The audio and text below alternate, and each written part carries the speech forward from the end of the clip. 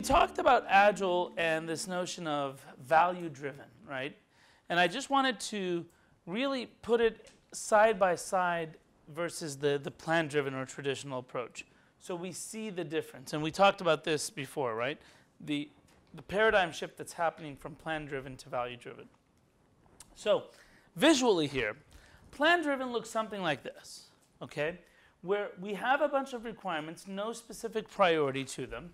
We take these requirements and we estimate what are the what's the cost and resources needed, what's the time needed, right, to deliver these, and then we come up with the plan. The plan is basically telling us how to use these resources and this time according to this plan to deliver the scope. You guys agree? Simple? Mm-hmm. Okay. So, great. Let's start working. So we do the analysis part, the design, the coding, the testing, and we deliver. All this time, we are following the plan, okay, because the plan tells us how to do stuff. And then we do that and we deliver value at the end right on the deadline. Congratulations. Right. Simple, great, no problem. Now, the reality is these new must-haves come into the picture. And these new must-haves come into the picture. Why? Because of the learning and discovery that's constantly happening. Okay? So when they come into the picture, where do they really go? Well, this, this triangle gets bloated really quickly, right? Because now you've added stuff into it, but it really it's fixed from every valve, right? And so what happens? Crunch test time, stress, missed deadlines, what happens? Now, what I've seen commonly happen is basically it's not just about missing the deadline, we just don't deliver value by the deadline. Because I've seen teams that release on the deadline, but it's so buggy that there's no value, right? So we end up usually delivering value later. Now, keep this in mind and keep and, and look at this, right? By the deadline, how much value did the organization actually get? Now let's look at a value-driven approach. The value-driven approach, this picture has two differences than the first one. Number one is priority. These requirements are prioritized. And number two is how the plan works, right? So there's still a plan, but the plan is not activity based, it's value based. Right? So the plan says, I'm going to give you these two requirements first, then these two, then these two, then these two. Right? Now, who prioritizes? The customer. Okay? Now, another view of this may be I have this much fixed resources, this much time, what can I get? Right, where can I stop? It's the same thing to a degree. Now, notice here, we flipped the triangle and we said, okay, our resources are fixed, our time is fixed, and we're going to use the time and resources according to the discretion of these people, or the customers, right, to tell us which scope we get. This is how we say that the scope is estimated and we negotiate it. And then when we work, we work this way. We build things in thin slices. Where every slice has its analysis, design, coding, and testing, we have a valuable product at the end of each one of these little time boxes. Okay? Now, when we look at the value curve, the value curve looks something like this. Why? Because at the end of every box, I'm delivering something of value. And it's plateauing because, yeah, the most valuable stuff I've done first right? And then comes the less valuable, less valuable. Now, when new must-haves come into the picture here, no problem. The new must-haves come in, and they go right down here. And what happens? These guys determine what needs to be worked on next. So we welcome change, and these, these new must-haves may not be the, still the highest priority. But they come in, and then these guys constantly are looking and determining what is the highest priority. Now, both delivery approaches miss the deadline. There's no magic here. Both of them missed the deadline. The big question is at the deadline, who got more value? And then the more powerful aspect of this is what we call trim the tail. Because trim the tail says, could I have stopped here? Should I have stopped here? will investing this much give me value? Right? And that becomes the whole cost of development versus the value we're getting. And that's really what we want to look for, which is how early can we stop this? Because it's not just about finishing scope for the sake of finishing scope.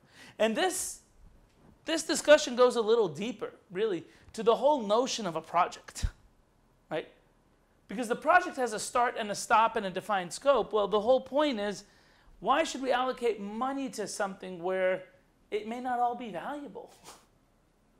And it, maybe we can stop here, right? And on the organizational scale, find another project where instead of investing here, I'm going to invest in another project here and get more value from a portfolio perspective. But the challenge is we, we don't do that because we have money allocated to projects, right? And if you don't spend all the money, you're not going to get for your next project, right? And, and so the, the, the whole financing piece, again, it's all plan driven, not value driven. Plan from a financial perspective, from a scope perspective, from a resources perspective, it's all plan driven. It's a culture of plan driven. Now, the big difference between these two approaches is priority. And I'm going to do a little exercise with you guys to sort of highlight prioritization and how it's done. Okay? And then we'll reflect on this. So, you guys ready? Okay. So, what I'm going to need from you guys is to come over here. Come on, all of you. Totally fine. Bring my timer here.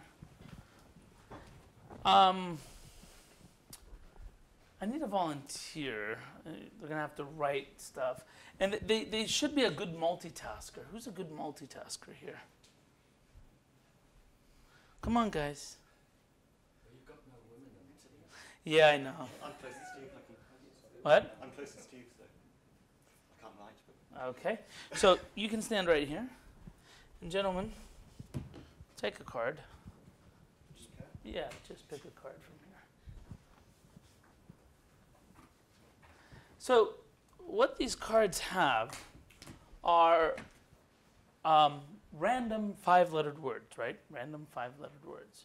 And basically, you're going to just practice here for, we're going to do a practice run here for a second. So um, I'm going to start a timer, okay? And I'm going to start reading one letter at a time, just one letter at a time. And you're just going to write the word down. That's it. Your job is very simple. You ready? Sure. Okay. W. O. R. L. D. So I want you to notice what I did. I waited till he finished the letter, then I told him the next letter. That's the really the only rule we have. So you just can't say world, all right? You can't say W O R L D. No. You have to wait, look, as soon as he finishes a letter, you tell him the next letter. So we finished that in seven seconds. That was seven seconds. Great job. Simple? Okay. Now, the context. Each one of you is a business person and you have your project, and there's one developer. Okay? And when I say go, all five of you are going to start shouting out the first letter of the word you have as loud as you can. Because he works by the loudest voice. Right? That's his prioritization technique, the loudest voice.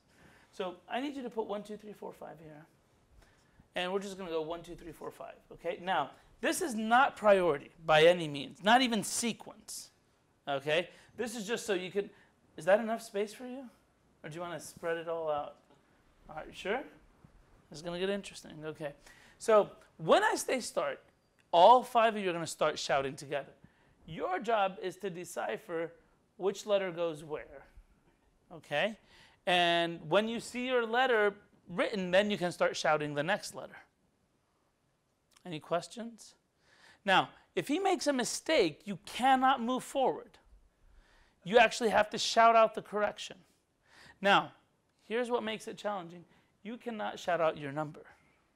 So you can't say 1W, 1W. You just shout out W. And he has to figure out where the W goes. So you can't say wrong. You. Uh, you can't say, it's not an M, it's an N, for example. Right? And he has to relate that to number three and then fix number three. If one of you finishes, the rest of you keep going. Okay? You, really want to spread it out, trust me. Yeah.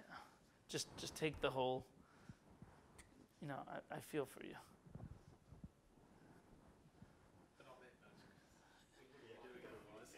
Yeah, okay. So do whatever is comfortable for you. And I'll be taking time. That's it, right? So when a word is done, I'm just going to jot down its time. And um, this is all recorded, so uh, show us your best performances here. On your marks, get set, go. Say, say, say, J, Keep going. J, say, if, say, J, say, say, say, say, say, say, you, say, you, say, you, say, L, Keep going, gentlemen. L, say, say, L, say, J, say, Not J, L. Keep going. say, you, L, L, L, L, J, L, J, you, L, L, you, L, you, L, L, O, J, you, L, J, L, you, L, L, you, L, L, L, J, you, L, not G, L, you, L, Z, L, J, not L, Z, J, L, Z, J, L, L, J, L, Z, J, L, Z, L, J, L, Z L, again, L, J, Y, J, L. L, R, J, R, L. C, C, J, J, A. J, not G, J, A. U, Both of you should be shouting. I should hear two And- voices. B, A. O. A. Z. A. All right, round of applause here, folks. That was round one. Now, what we're going to do this time is the following you get to say one letter, one letter, one letter, one letter, one letter, and then we go around. Good? You ready? Go. W, C, J, P, S. T, oh, A, O, E, I, M. T, A, W, Z, M. I. C, C, E, Z, L. H, H, L, A, E. All right. One more round, new, new cards. We could just do it right here. One, two, three, four, five. So do another one, two, three, four, five for me.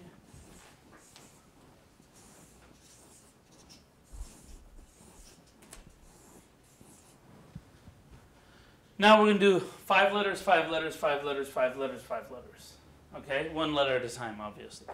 Okay? You guys ready? You ready? P, Go.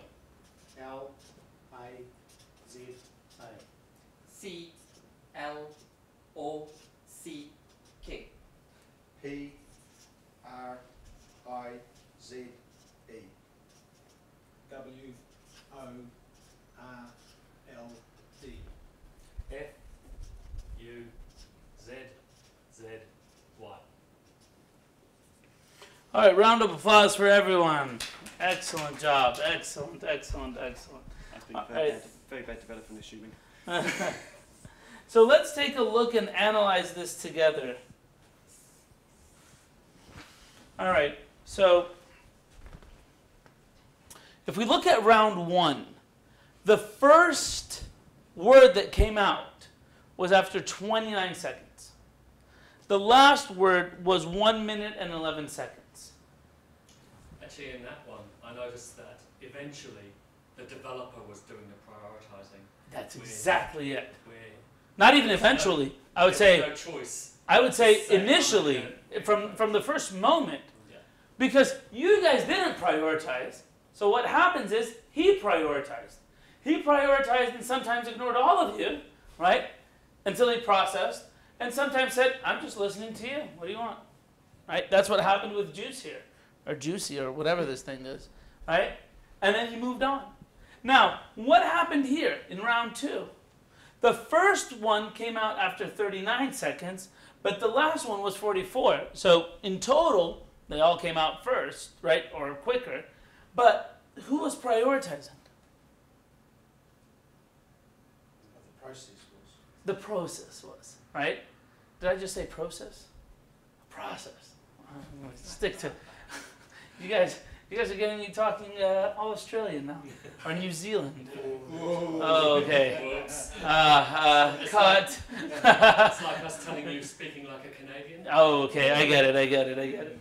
So, so the point here there was really no prioritization. It was process. It was sequence. Here you actually prioritized. Now, when you actually prioritized, the last one to come out here was quicker than the first one here. And if you want to look at quality, feel free also to look at quality, right? And and it, it never fails. I mean, it, it actually it actually does have an effect. Just even look between these two, right? So what we're trying and and and again, you get the highest value out after four seconds. That's a great return on investment right there. And then the next one, eight seconds, 14, 18, 24, right? I mean, you are, you're getting value. Now, the challenge is we don't prioritize. And the business has got used to not prioritizing, right? And so what happens is this. They don't prioritize, they just tell people to do things, and it's up to people. It's the loudest voice, it's the emergencies, who you want to get off your back. That's how prioritization really happens in organizations. And it's a mess. And at best, it looks something like this. Right? But this is where we need to get to. Now, unfortunately, unfortunately, this has become such a habit that when you really look at some of the symptoms like multitasking, multitasking for me is a habit of lack of priority. And that's what I wanted to link it to. Because organizations are constantly multitasking, and by multitasking, I mean start on this, do this, right? They're starting multiple things and switching, and really what you want to call out at that point is what's the priority? And that has been such a culture, even in our lives today. Right? I'm playing with my kid and I'm checking my email. Which is more important? Make a decision and commit to it. But that culture is missing. Now, why is this important to Agile? Because one of the key things needed for Agile is prioritization. I actually don't know how to do Agile without prioritization. Because if we're all about value driven, value driven, value driven, well, someone's got to tell me the value. Someone's got to tell me what's more important than, than something else. And if the business will not be engaged continuously in the prioritization of work, we have an issue. And that's really the essence of this whole part, right? So we talked about mindset, we talked about learning and discovery, we talked about all of this.